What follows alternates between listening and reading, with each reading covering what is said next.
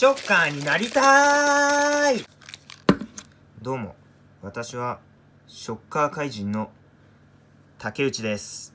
えタピオカはショッカーの飲み物だというね、情報を得たので、私自分で作ろうと思いまして、今日早速ね、スーパーマーケットに行ってきたんですよ。今の時代ね、どこに行ってもショッカー怪人が溢れているわけで、タピオカなんてね、どこにでも売ってると思ってたんですね。えしかしね、タピオカキットをね、スーパーマーケットで探してみたところ、売ってなかったんですね。どうなっとんねん。このご時世、タピオカも売っとらんのか。ショッカードリンクのね、キットを買おうと思ったんですよ、私。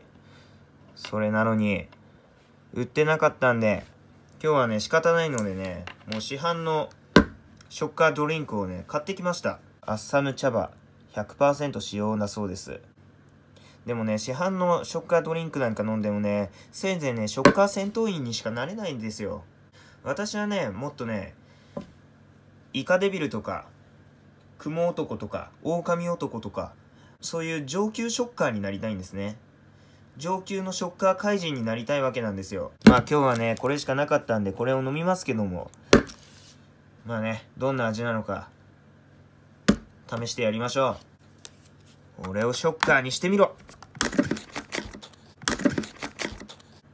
では、いただきます。やっぱりタピオカがもちもちしてないですね。でんぷんとコラーゲンペプチドを使用しているらしいですけど、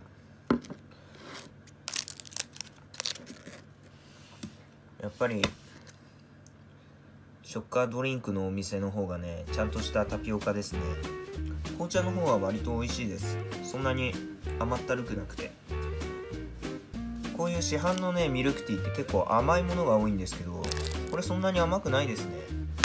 ごちそうさまでした。ストローで吸うと中のタピオカがもう銃弾のようにね、口の中に押し寄せてきます。結構うめえじゃねえか。ま近いうちにね、本物のショッカー怪人になるためにね、ショッカードリンクのキットを買ってきて、自分の手で作ってみようと思うので、楽しみに待っていてください。それじゃあ今日はこの辺で、竹内でした。バイバイ。